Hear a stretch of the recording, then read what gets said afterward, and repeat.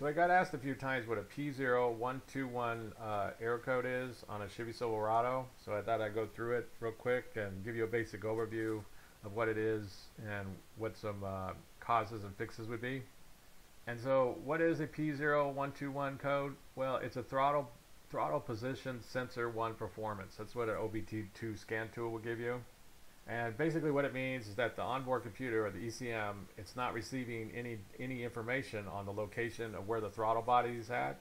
And uh, it needs this information to send in the right gas uh, uh, air ratio mix into the engine. So it needs to know where the throttle throttle uh, position is at. And uh, so it's not getting that information and uh, so it's given this code. And so what, what are some fixes? Well, number one, is clean the throttle body up.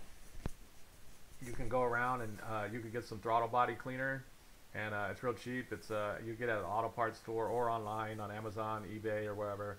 And uh, you get some throttle body cleaner and you get a rag and you clean it up real good because it gets all dirty and grimy and it causes it not to be able to open and close correctly or to lag and cause problems with the sensor and everything.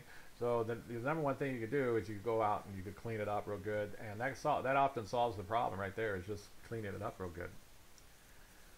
And uh, number two, it, it, could be the throttle uh, position sensor, which is another another common problem after it being dirty, which is usually the problem. But it can also be the the the uh, throttle position sensor.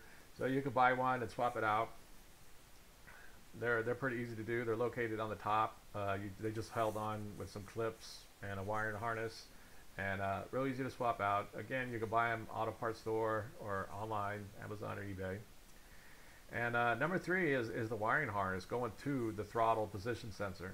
Uh, you can check all your uh, connections, make sure it's seated in there good. You can take it off, reseat it, make sure it's on there.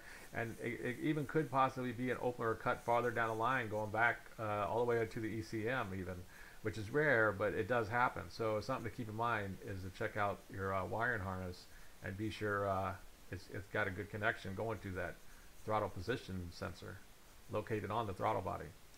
But that's basically it. Uh, if you have any questions, uh, ask me uh, down below and I'll try to answer them.